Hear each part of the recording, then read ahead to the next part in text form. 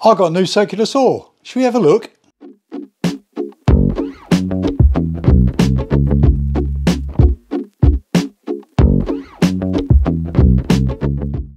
Welcome back to my workshop. Now today we've got another tool review and this is on the uh, Stanley Fatmax SFM CS500D1K which is a V20 circular saw. Okay, this is a cordless circular saw by Stanley Fatmax. So we're going to have a look at that. Now, before we start, I'm not affiliated with Stanley at all. I'm not paid by them. I bought this with my own money, so I can effectively say whatever I like. But I do like Stanley Fatmax tools. Uh, I've got a range of tools here, all on the V20 platform, uh, which is the battery platform. Uh, I have reviews on all of these tools. Uh, you can see them here uh, in my other videos. Okay, but today we're going to talk about circular saw. Let's get it out of the box. So as usual uh, with the Stanley Fatmax V20 range, uh, when you buy them as a kit, they come in this uh, nice blow molded case, uh, which I've kept all my other V20 tools in the cases because they're quite good. Uh, so I'm hoping this one's going to be okay as well. Uh, a little bit about this saw. It's an 18 volt circular saw on the V20 battery platform. Uh, 4000 RPM, that's obviously its maximum spin. Uh, 165 millimeter disc. And this kit, which is the uh, 500 D1K kit, it comes with a single 2 ampere battery. Okay, but it also comes with a charger. So we're going to get this out of the box. Uh, we've got a little cable tie here, which we have to undo first because otherwise you can't get it out of the box. Again, that's just a simple case of pair of cutters, cut, throw that away. Uh, also on these, when they come packaged, uh, the seal across the side here on both sides, that side and that side, you have to obviously break that seal. So we'll do that with a Stanley knife obviously a Stanley knife, but ironically, this is a Draper. Mm. Okay, on the side here, on this label, it goes on about the three-year guarantee. Uh, you do need to register your tool to get this three-year guarantee, uh, but you can search that on the My Stanley website. Uh, on the back of the case, it just basically says a little bit about the uh, batteries, okay? Um, if you're familiar with the V20 battery range, then there'll be nothing new there for you. Okay, and here obviously is the model number, 18 volts, and it's made in China. Right, let's look in the box. Right, as I say, quite a solid case, uh, metal clips, which is good, none of this breaking off rubbish. Okay, and in the box, we get all of this. Okay, let's get this out of the box, and then we can look for them.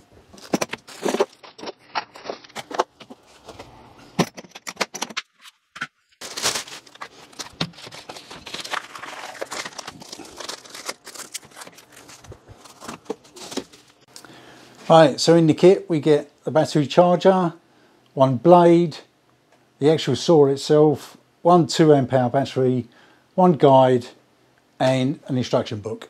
Okay, so what we'll do is we'll go through these one at a time and have a very quick look and then look at the main body itself.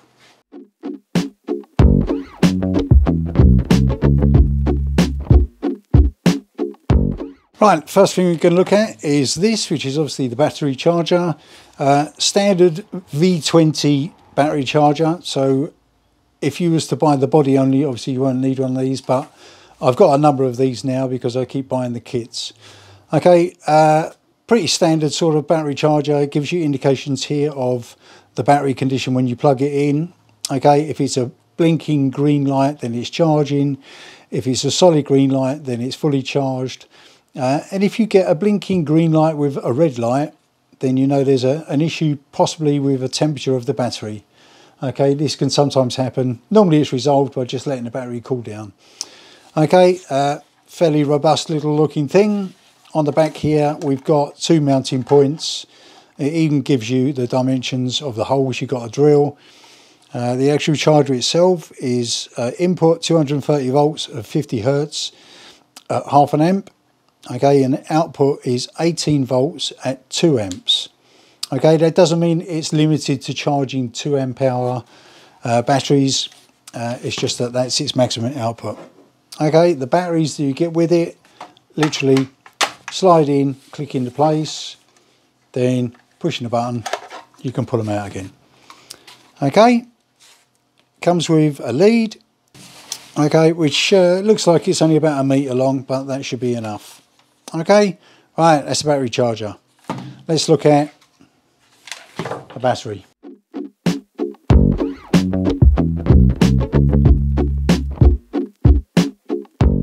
Okay, so this kit comes with the uh, 2 amp hour battery, okay, as opposed to one of these, which is the 4 amp hour battery. Obviously you can see there's a bit of a difference. Uh, if you want some more sustained power for a longer time, go for a 4 amp hour battery, but this should be enough for some general use. On here, you've got a manufacturing date, okay, in this case 2023, which is good, means it's nice and new. Uh, the model is an SFM CB202 18 volt 2 amp hour. Okay, uh, not much to say about the battery. Okay, this is the release lever, these are the terminals, and this is the battery. Okay, I've covered more on the batteries in some of the other videos, uh, but you can use either of these, the 4 amp hour or the 2 amp hour with this tool. Right, what else do we get?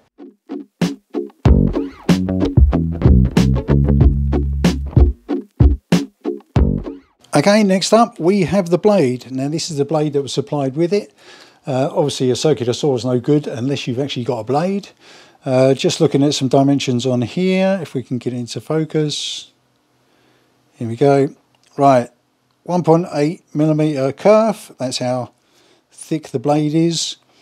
Uh, we've got 165 millimeter blade and a 16 millimeter bore.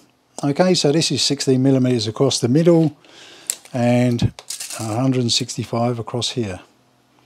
Okay, uh, now this one in particular is an 18 tooth blade. So depending on what you're cutting, uh, you might need to change that blade out. Uh, but we'll get the most out of this first. Uh, let's have a look. It's also a tooth carbide blade. Okay, so it's got carbide tips. Yeah, hopefully that'll be okay. If not, we'll just swap it out. Right, what's next?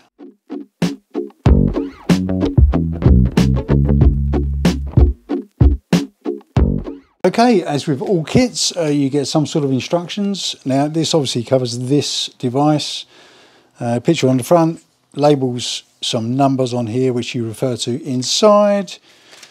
You probably won't even read these, but basically it covers uh, charging the battery, checking the battery condition, how to insert the battery, how to remove the battery, how to change the blade, how to adjust the angle of the cut. Okay, it's not very clear because it's so white.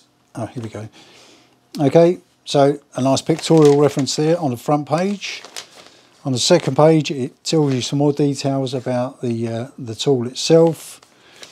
Uh, you get this Stanley FatMax manufacturer's guarantee. Again, requires online registration.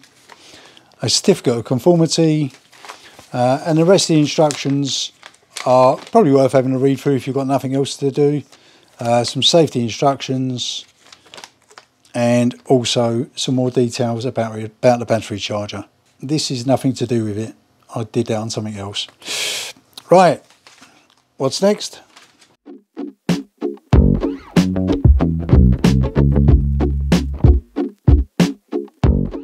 Right, as far as accessories go, uh, we got this little guide. Okay, I'll show you how to fit this uh, in a little while. This actually fits to the uh, base of the actual tool and can help you uh, if you're doing long straight cuts. Okay, I tend not to use these, but you never know, it might come in handy and I'll show you how to fit it in a minute. Right, let's get on to the main star of the show.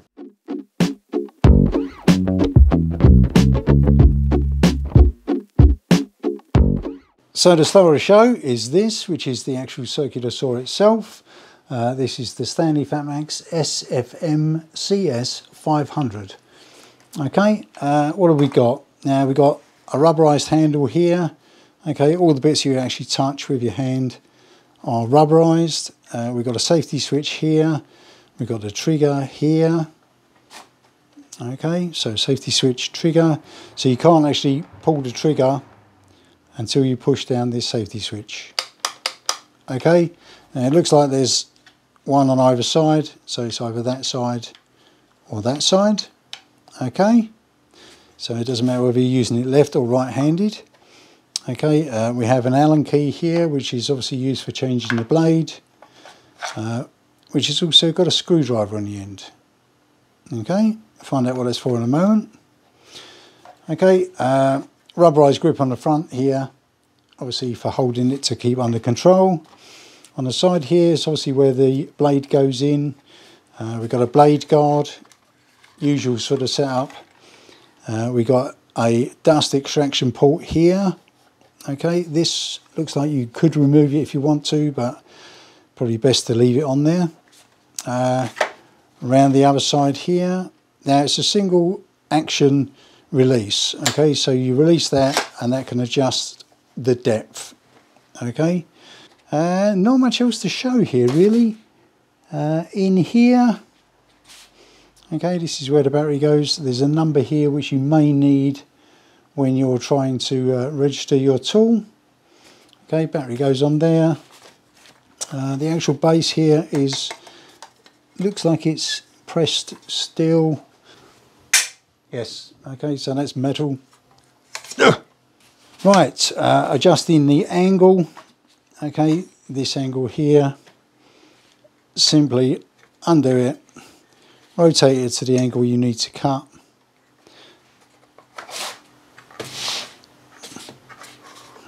Okay, and it should stay there. Now, something I don't like already. Uh, now, the amount of, let's put this back to normal. Now the amount of play side to side. Now this is locked off here, but there's a lot of play. I don't like that. Let's see where the play is. I've just had a quick look and it appears that all the play is in this retaining screw here. Okay, it doesn't look like a lot, but you think by the time you've got to the extremes of the blade, that's quite a lot of difference. I mean, I've had cheaper circular saws that have got nowhere near that much play. Right, that might be a game changer. Right, let's have a look at changing the blade.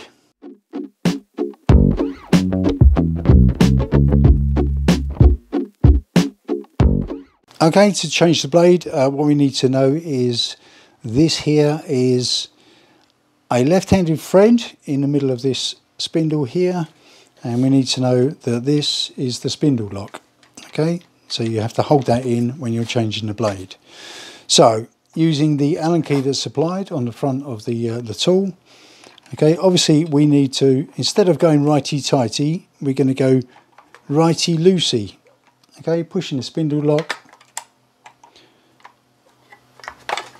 and loosen that. Don't drop it on the floor. Uh, and there's also a collar on here. Okay, put those to one side. Now you should see here there's an arrow which shows the direction of travel and also on your blade here there is a direction of travel here. Okay, so basically remove this. Do not cut your fingers because you'll end up wearing a plaster.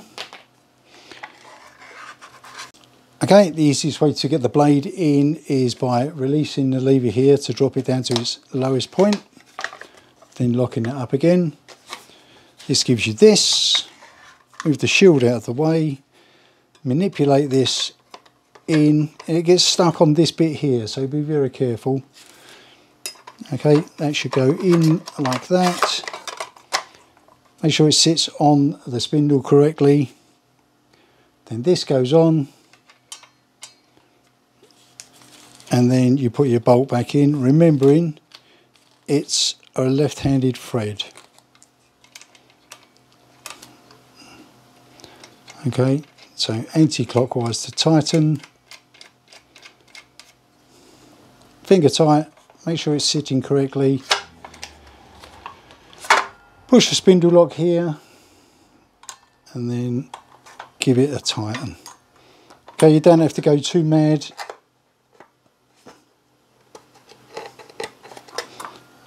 Okay, now that should be tight.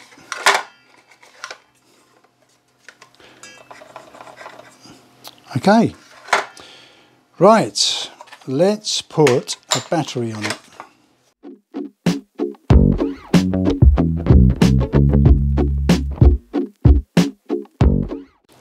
Right, once you've fitted your blade, don't forget to put your uh, Allen key back in position, otherwise you'll never be able to find it. Okay, this goes in here. Somehow, out of the way, that'll do. Okay, right, the battery. Now remember, when you put the battery on, as soon as you put the battery in, this becomes dangerous. It's going to try and chop your fingers off, so don't be a fool. Okay, now when you put this in, you slide it in position. I always push the button to back this out. Okay, so then it latches properly without breaking anything. Slide it in, okay, and it's clicked into place. So now this should be ready to go. Okay, push your thumb down on the safety lock, pull the trigger. Okay, it should be ready to cut.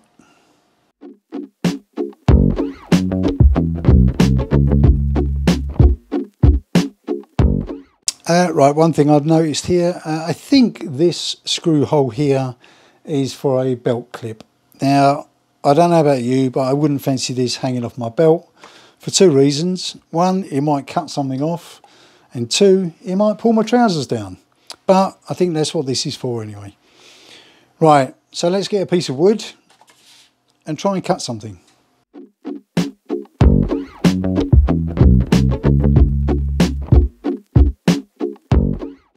Okay, so let's try and cut something now. Uh, first thing I'm going to cut is obviously a piece of sheet material. Now obviously these are really best suited for cutting sheet material. Uh, in this case I've got a small piece of 12mm OSB. Uh, what I'm going to do is quickly clamp that to the bench.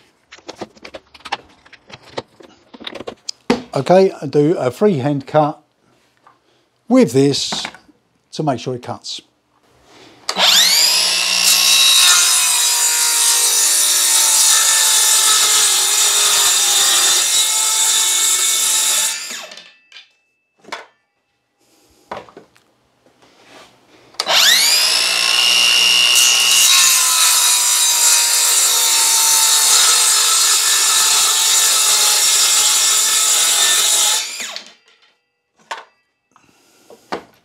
Okay, let's check to make sure we can use it with a cutting guide. Okay, so this is just basically a clamp on guide so you can cut and get a straight edge. Okay, it's clamped into place. Let's try. Yeah, looks like there's plenty of clearance. Okay, let's give it a go.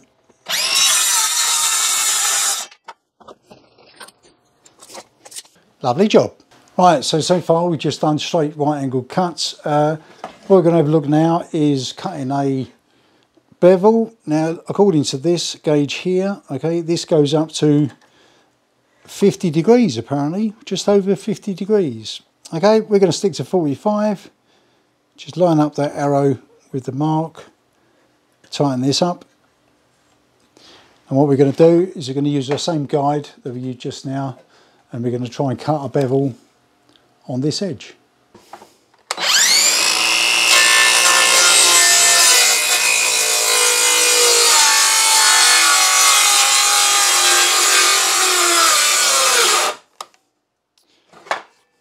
Right, I think I've got a flat battery.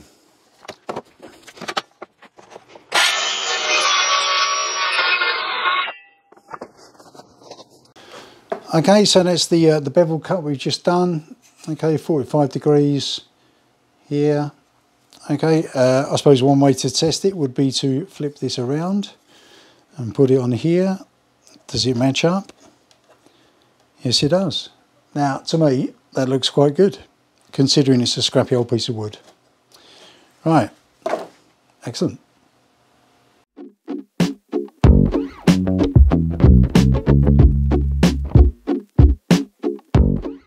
Right, as you just see, uh, I was doing a bevel cut. It seems to be okay. Uh, this is obviously a piece of quite scrappy wood. uh, but it seems like the bevel is quite nice. Uh, it's covered me in dust, so let's check out the dust extraction.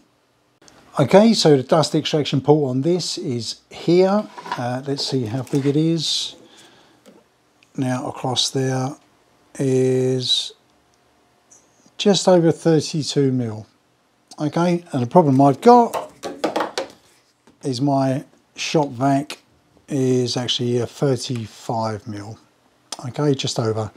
But it's okay. I've got one of these uh, cheapy adapters, okay, which should in theory just fit in here, which it does. Now this is a fairly solid plastic, but it will go in like that. Okay, then this can go on here. Excellent. Right, let's have a bit of a clear up and then I'll do a quick cut and see how effective the extraction is. Right, I've had a quick tidy up, uh, apart from myself, of course. Uh, what I'm going to do now is I've blown this off with the airline so we can see how much sawdust is actually on there, which is now none. Um, I'm going to plug this in, do a single cut, and we'll see how much dust we can actually salvage. Right,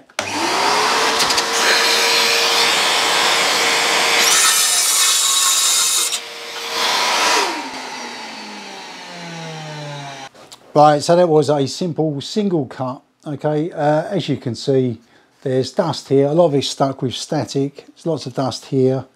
Um, I suspect he got some of it, but really this is not the same as a track saw. A track saw is covered around the side here, so you've got much more uh, vacuum around the blade. Okay, with this, uh, not so good. Okay, it must work a little bit, but I wouldn't rely on this much. Okay, be prepared to tidy up afterwards.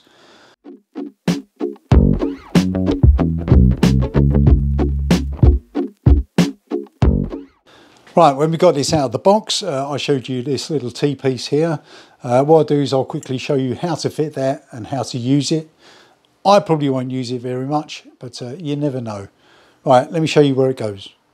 Okay, so this T-piece here, uh, I'll show you where it fits. I probably won't use it much, but I'll show you how it works anyway. Uh, now this should slot in the side of the, tape, uh, the saw here, okay, and then when you cut, you run it along the edge of your piece of work. Okay, this fits in here, okay, so this fits in this slot here, okay, and goes under that screw there. Now, ironically, that's a normal Pozidriv screw, uh, but the screwdriver they give you is a flat blade. Okay, so that's no good. So you need a Phillips screwdriver or Pozidriv, which I just happen to have here. I'll do this left-handed.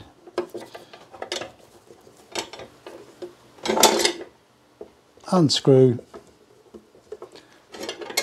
slide it in your bar okay it will come out the other side okay then all you do is you move this out a little bit you adjust that to the uh, the size you want.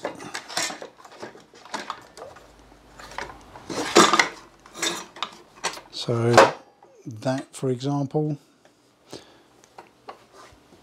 Then nip up the screw.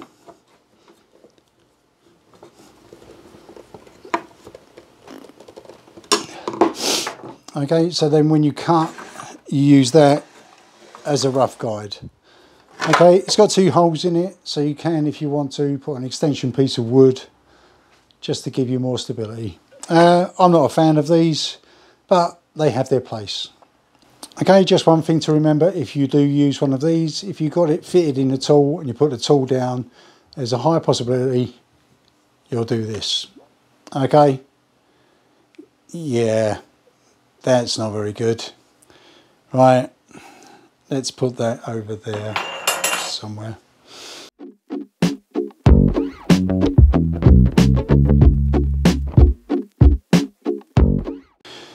Right, just another couple of things before we go. Uh, we're going to have a look at this now, so always be safe. Take the battery out before you start playing with it.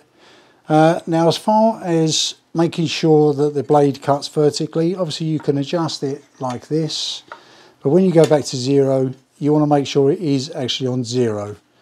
Okay, so obviously you want to make sure using some sort of square that the blade is actually square. Now, if it is slightly out, you can adjust it on the front here. There's a screw here, okay, and that will adjust your zero point. Okay, that's just one thing. Uh, and just another thing out of interest, your maximum depth of cut is approximately 56, about 56 mil. Okay, I would probably never cut anything that deep with it, but for sheet goods, looks like it's going to be okay.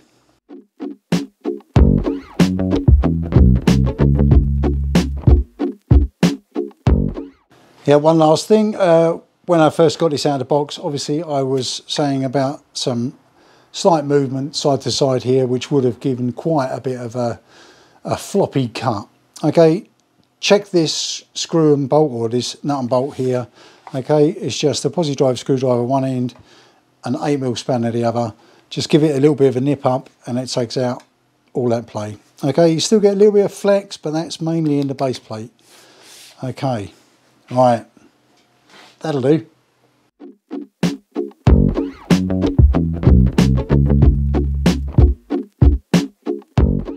Right, before we move on to the next bit, uh, you might be wondering how much this was. Now, it's now January in 2024, uh, and I bought this kit, so it's the whole kit, for £97.50. Okay, I bought it from a store in the UK called Argos. Okay, normally I would buy my tools like this, the Stanley Fatmax tools from Toolstation, uh, but generally because in Toolstation they have some special deals on redeeming a battery, etc. Okay, but they had no special deals on at the moment. And for the same price as just a body in Toolstation, I could get obviously the body, the battery, the charger, the case. Okay, so in January 2024, this kit was £97.50.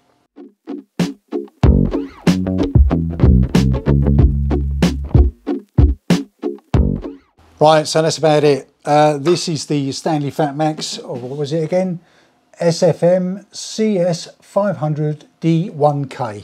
Okay, so this is the 2 amp hour battery kit. Okay, so it comes with 2 amp hour battery, a charger, the body, one of these things, and the case. Okay, most of the cuts I did just now were all done on the 2 amp hour battery straight out of the box. It needs charging. Okay, I've already flattened it because it wasn't fully charged. Okay, that's down to me, not that. Okay, but because I'm on the V20 platform, I could quickly swap out to a 4 amp hour battery, do the cuts, no problem. Okay, what do I think? Yes, I'm a good fan. I'm a big fan of this. Not so much this thing because it's rubbish. Okay, uh, but the tool itself, I'm going to use it. Probably not for precision cuts. Okay, for precision cuts, I've got a table saw, I've got my miter saw, the CNC machine. But for cutting down sheet goods, perfect. For rough cutting, perfect.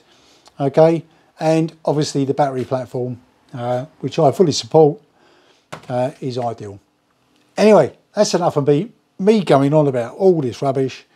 Hope you liked the video, hope it was informative, and I'll see you in the next video. Bye.